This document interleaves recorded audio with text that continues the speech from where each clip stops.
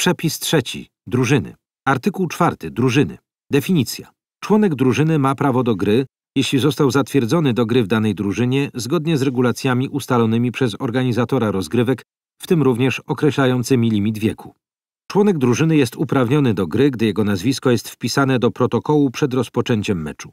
Członek drużyny przestaje być uprawniony do gry w momencie, gdy zostaje zdyskwalifikowany lub popełnia pięć fauli. W trakcie gry członek drużyny jest zawodnikiem, gdy znajduje się na boisku i jest uprawniony do gry, zmiennikiem, gdy nie znajduje się na boisku, ale jest uprawniony do gry, zawodnikiem wykluczonym, gdy popełnił pięć fauli i nie jest już uprawniony do gry. Podczas przerwy meczu wszyscy uprawnieni do gry członkowie drużyny traktowani są jak zawodnicy. Przepis. Każda drużyna składa się z nie więcej niż 12 uprawnionych do gry członków drużyny łącznie z kapitanem, trenera i, jeśli drużyna sobie życzy, asystenta trenera, maksymalnie siedmiu towarzyszących drużynie członków delegacji, którzy mogą siedzieć na ławce drużyny, pełniąc określone funkcje w drużynie, np. kierownik, lekarz, fizjoterapeuta, statystyk, tłumacz i tym podobne. W czasie gry na boisku powinno znajdować się pięciu zawodników z każdej drużyny. Zawodnicy mogą być zmieniani. Zmiennik staje się zawodnikiem, a zawodnik zmiennikiem, gdy sędzia przywołuje zmiennika na boisko, podczas przerwy na żądanie lub przerwy meczu zmiennik zgłasza zmianę do sekretarza. Stroje. Stroje członków drużyny składają się z koszulek w tym samym dominującym kolorze co spodenki z przodu i z tyłu. Jeśli koszulki mają rękawy, to muszą one kończyć się powyżej łokcia. Koszulki z długimi rękawami nie są dozwolone. Wszyscy zawodnicy muszą mieć koszulki wsunięte w spodenki. Jednoczęściowe stroje są dozwolone. Spodenek w tym samym dominującym kolorze co koszulki z przodu i z tyłu. Spodenki muszą kończyć się powyżej kolana. Skarpet w tym samym dominującym kolorze u wszystkich zawodników danej drużyny. Skarpety muszą być widoczne ponad butami.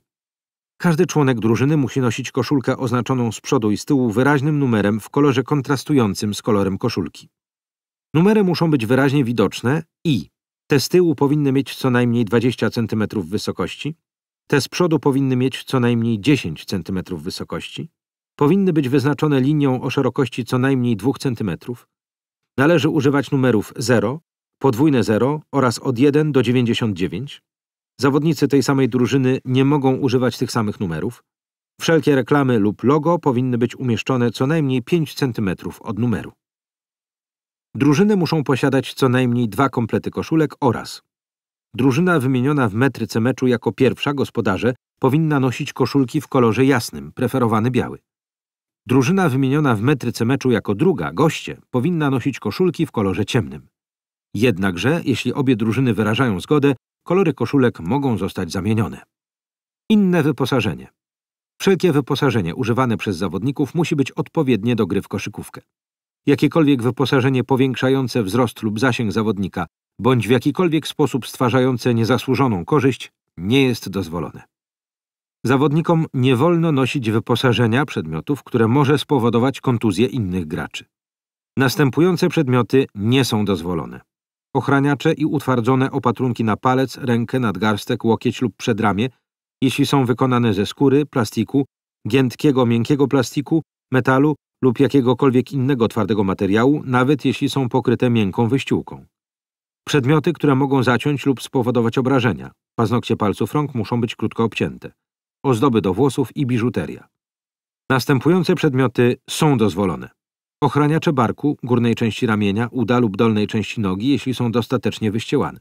Rękawy kompresyjne w tym samym dominującym kolorze co koszulki lub w kolorze białym lub czarnym. Jednakowy kolor dla wszystkich zawodników drużyny.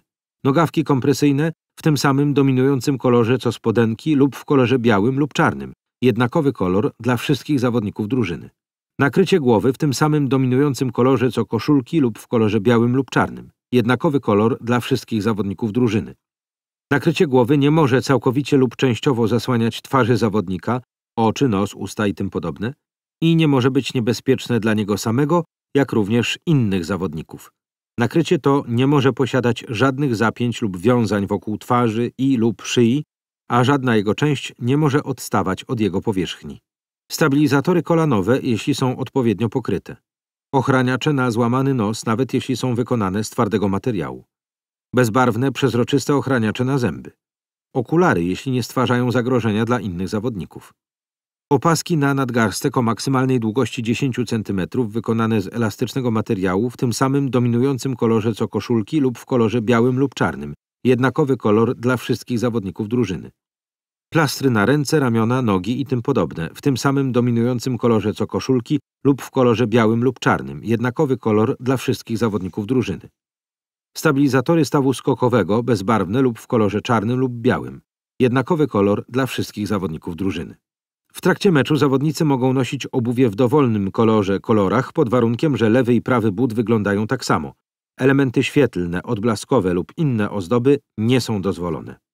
W trakcie meczu zawodnicy nie mogą prezentować żadnych treści reklamowych, promocyjnych ani charytatywnych, zarówno na swoim ciele, włosach, jak i w inny podobny sposób. Wszelkie inne wyposażenie niewymienione w tym artykule musi uzyskać akceptację Komisji Technicznej FIBA.